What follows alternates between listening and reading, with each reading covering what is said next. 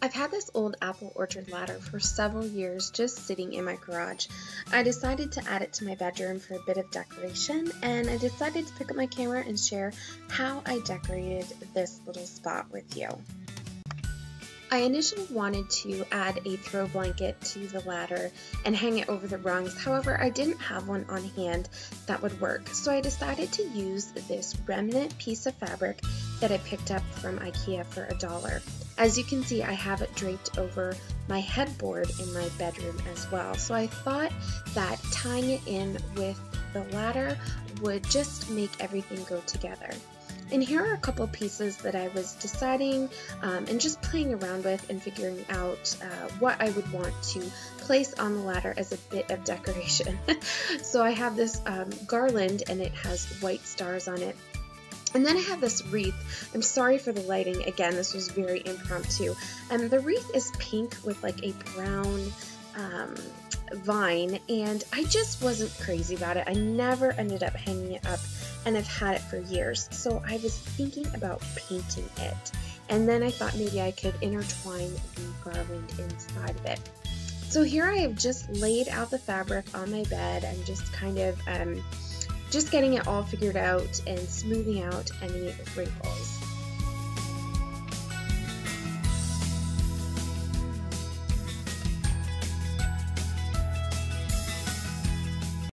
I decided to fold the fabric inside out so it looked a little bit more muted instead of such the strong tone of the navy stripe. It lends itself to a bit more of that mattress ticking style that is so popular with farmhouse design.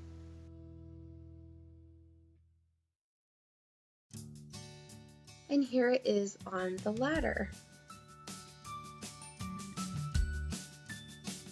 I went ahead and attached the wreath to see if I was going to even like the look. All I did was just take one of the branches and wrap it over the rung just to make sure that I was going to like it and I did really like how it looked. So I decided to get brave and paint the wreath. I just squirted some dollar store white craft paint on some tin foil and here I am watching a little bit of YouTube to get me in the crafting mode and I did another paint project there too, just painted the lid.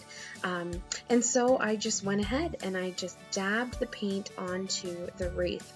I made sure to try and cover as much of it as I could um, and just kind of tried to get all of the pink and brown out of the wreath. Of course, I wasn't looking for perfection here, but um, I was looking to make it as white as possible.